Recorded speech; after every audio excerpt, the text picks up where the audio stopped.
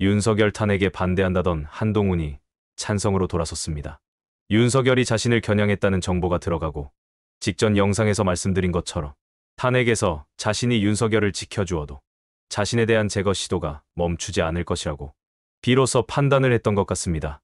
하지만 내일 표결 전까지 한동훈의 간보기는 끝나지 않을 것입니다. 윤석열이 대국민 깜짝 개사과 성명이나 임기 단축 개헌안이 발표된다면 한동훈은 아마도 바로 돌아서지 않을까 예측해 봅니다. 내란죄는 이미 당사자들의 자백으로 입증된 상태입니다. 국회를 장악해서 계엄 해제를 못하도록 명령했다고 김용현 전 국방장관이 자백했고 국회에 모인 국회의원을 끌어내라 직접 김용현 전 국방장관이 지시했고 지시받은 특임 사령관은 김병주 의원에게 자백했습니다. 윤석열은 국정원 1차장에게 전화해서 국회의원을 포함해서 싹 다 잡아들이라고 말했고 인적 물적 자원을 동원해서 방첩사를 도우라고 명령했습니다. 방첩사령관은 국정원 차장과의 통화에서 체포해야 할 국회의원과 시민단체 김어준 등의 명단을 불러주면서 위치 추적 등을 해달라고 협조를 요청했습니다. 수사는 이제 시작되었는데 증언이 쏟아지는 상황입니다. 내란 죄에 대한 성립 요건은 검토 대상이 아니라 완성되었습니다. 경찰 국수본이 움직인다고 하지만 내란죄인데 어느 한 놈 체포될 기미가 보이지 않습니다. 탄핵이 결정되면 곧바로 특검을 추진해야 합니다. 국민의힘 의원들의 비상식적인 회의 방해가 이어지자 장경태 의원이 도리지를 치면서 발언을 시작합니다. 법무부 아니 국방부 차관님 예, 계엄령. 선포 계획 언제 하셨습니까? 예, 차관 저는 방송에 나오는 걸 보고 알았습니다. 그러면 국무회의 참석도 안 하셨네요. 예, 저는 뭐 국내 그러면 그 이후 계엄령 선포 시부터 그 이후에 계엄사령부가 구성되고 그 이후에 포고령이 공포되고 그 이후에 국무회의 소집돼서 계엄령이 해제될 때까지도 모르셨나요? 예, 제가 언론에서 보고 부대? 복귀한 게 한 23시 40분 경이니까 그 이후부터는 23시 40분에 어디 계셨습니까? 저는 그때 국방부 상황실에 있었습니다. 상황실에서 뭐 하고 계셨나요? 예, 그때 그 상황이 조치되는 것을 보고 있었습니다. 보고만 있으셨나요? 아니면 여러 정부기관의 파견 요청을 차관께서 직접 하셨습니까? 그런 적 없습니다. 없습니까? 내란죄에 동조하지 않으셨다는 공범은 아니시라는 얘기죠? 예, 제가 조치한 사항 없습니다. 법원행정처장님, 지금 계엄사 파, 예, 파견 요청 제가 자료 요구를 했는데 이걸 기조실에서 삭제하고 보내셨어요. 파견 요청 접수일 시 언제입니까? 정확하게 다 알고 계시잖아요. 간부회의 하셨으니까. 아 예, 어, 국가중대사니만큼 제가 좀 차분히 답변을 하겠습니다. 네. 예. 10시 23분에 이제 비상계엄이 선포된 걸로 보이고요. 어, 그리고 이제 제가 그 비상간부회의 참석한 것은 12시 50분입니다. 그 전에 아마 일부 이제 차장과 실장 중에서 어, 긴급 상황이니까 일부 모여서 여러 개 이러저러 이야기를 하면서 저희들 보고 좀 와 달라는 그 연락을 한 것 같습니다. 어, 그래서 이제 지금 말씀하신 것처럼 제가 이야기 듣기로는 뭐 공식적인 이제 그런 어, 겸사에서 협조 요청이라든지 공문 접수는 전혀 없었다 아, 이렇게 아니요. 파견 요청에 대한 간부회의에서 하셨잖아요. 논의를. 아 예, 그 말씀 논의를 드릴까요? 하셨고 파견 예. 요청 언제 받으셨냐고요. 안전관리관 나오셨습니까? 지금 대법원? 제가 말씀을 드릴게요. 제가 그래서 이제 파악하기로는 이제 어, 12시 50분에 제가 왔는데 이제 그 안전관리실 담당자가 계엄사로부터 이제 사무관 파견 요청 수령한 시점은 12시 56분이라고 그럽니다. 어, 그리고 안전관리관이 간부회의 보고한 시간이 12시 56분이잖아요. 안전관리관이 언제 계엄사로부터 음. 어떻게 어떤 방식으로 접수를 받았냐고요. 안전관리관 군 출신이잖아요. 대령 출신. 그러니까 안전관리실에 이제 담당자가 전화로 계엄사에서 전화를 받은 것 같고 몇 시입니까? 즉시 그게 12시 한 55분 전후인 것 같습니다. 그리고 곧바로 이제 관리관에게 보고를 했고 관리관이 이제 그 무렵 올라와서 저희들에게 이야기를 한 것 같습니다. 그래서 간부의 보고 시점은 제가 파악하기로는 이제 어, 1시 전후 이렇게 지금 파악이 되고 있습니다. 그 간부회의 회의록 갖고 계시죠? 회로는 따로 없는? 걸로 알고 있습니다. 녹- 녹취도 안 하셨어요? 예, 말씀드렸지만 저도 뭐 자다가 12시 50분쯤 가서 어, 이루어진 거라서 계엄사로부터 왜 예. 접수 요청 일시에 대해서 일시 경, 이 접수 경로 이거 왜 자료 안 주십니까? 아, 그걸 아마 제가 오늘 직접 이야기하는 게 낫겠다 싶어서 아니 주십시오 자료로. 알겠습니다. 서면으로 주십시오. 예. 지금. 지금 법원행정처장이 그러면 파견을 왜 안 하셨어요? 계엄이 해제된 건 정식으로 해제된 건 05시 01분 아닙니까? 어, 제가 말씀드리겠습니다. 그 제가 갔을 때는 이제 벌써 그 전에 12시 47분에 국회에서 이제 다행히 이제 그 원식 의장께서 회의를 소집을 한 상태고 그때부터 계엄 해제를 위한 회의가 시작된 상황입니다. 아, 그래서 저희들이 이제 제가 갔을 때는 텔레비를 보면서 이 해제가 지금 이제 그 절차가 진행되는 상황이고 거기다가 저희 제가 갔을 때는 이제 그 여러 가지 검토가 좀 어, 이야기를 그러니까 나온 것 대법원 같습니다. 법원 행정처에서도 대법원 간부회에서도 이 계엄령 선포가 위법하다는 걸 직시하시고 그거를 말씀드릴게요. 그 부분을 말씀해 주십시오. 그 왜냐하면 이제 아닙니까? 지금 다른 얘기 자꾸 하지 마시고. 어, 이 부분에 대해서는 뭐 저희들이 앞으로 이제 재판 사항이 될 수 있기 때문에 거기에 대한 어떤 판단을 말씀드릴 수는 없지만 적어도 그 자리에서 논의됐던 부분은 말씀드리는 게 네. 필요하지 싶어서 그래서 이제 그 헌법이나 개헌법이나 또 포고령이나 담화문에 어, 나온 자료 그리고 이제 판례에 비춰봤을 때 어, 거기에 적힌 내용 중에 저희들이 상당한 의문을 좀 가진 점들이 있었습니다. 아, 첫째로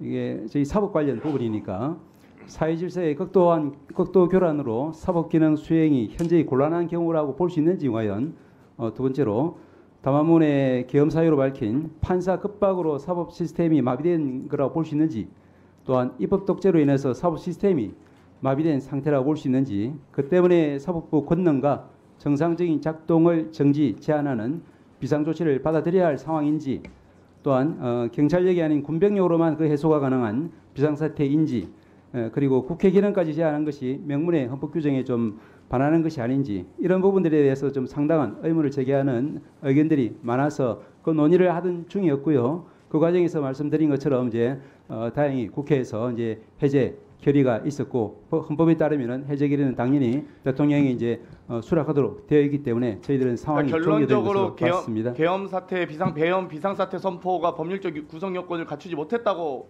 법원행정처에서도 우려가 커, 크셨고 그렇기 때문에 또 국회에서 의결된 즉시 지체 없이 해제하도록 되어 있기 때문에 5시까지 기다리신 건 아니시잖아요. 아, 그 부분 말씀드리겠습니다. 그래서 자, 제가 끝나고 질의하고 끝나고 좀 말씀해 아, 주시죠. 예. 좀 답변 기회 요청하셔서 법무부 장관님 예. 국무회의 언제 참석하셨습니까? 시간은 정확하게 모르겠는데 정확하게 아실 겁니다. 수행비서가 다 확인하셨겠죠.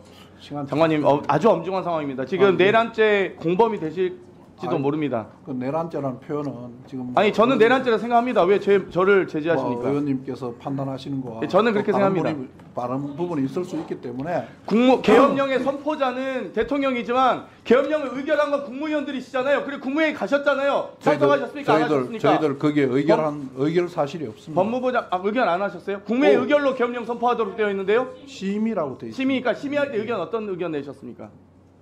다들 많은 걱정하시는 이야기를 하셨고 한 사람 한 사람에 대한 이야기를 제가 여기 말씀드리는 건 적절하지 않은 것 같고요. 그러니까 본인 어떤 의견 내셨냐고요?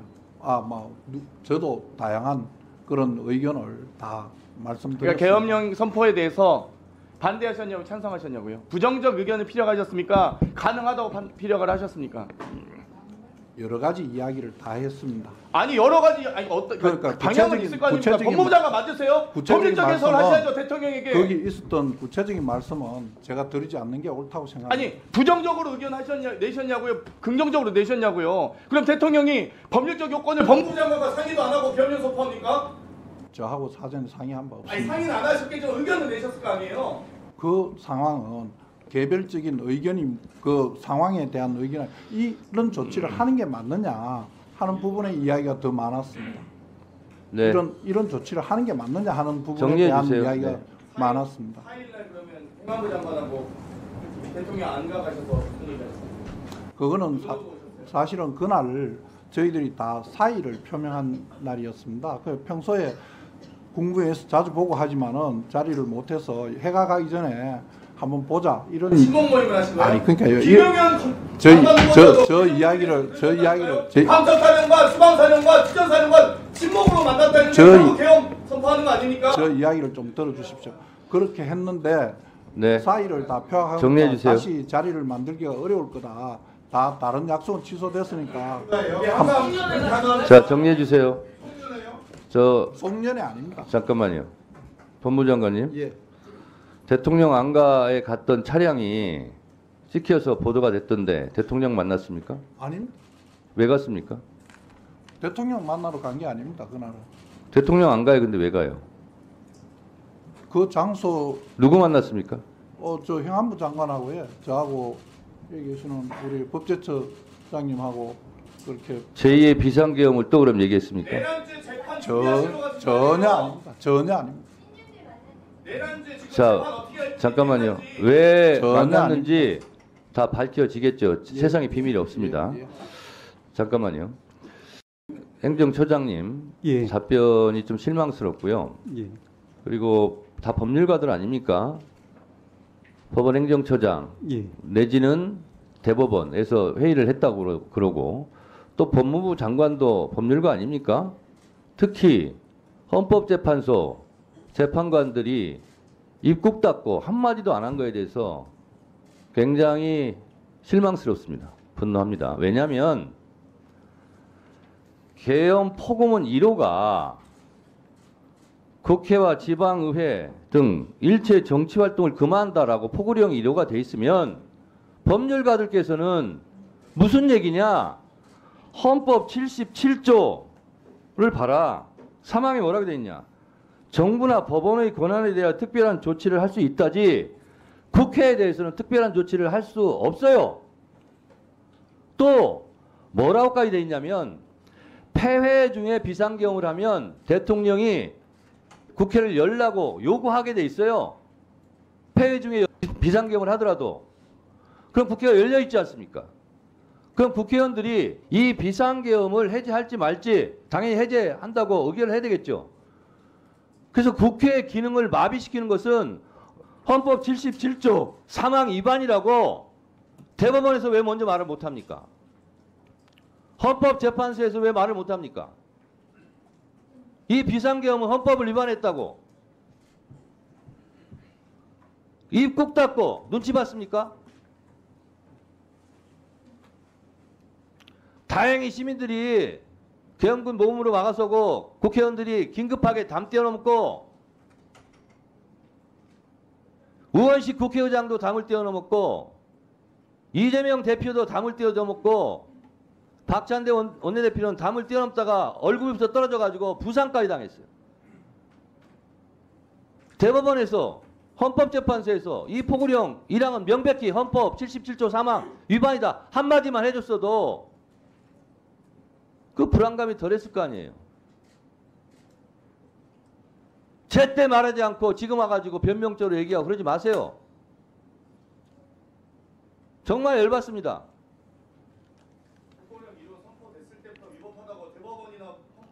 우리 국회의원들도 금방 알았어요 이거. 저-?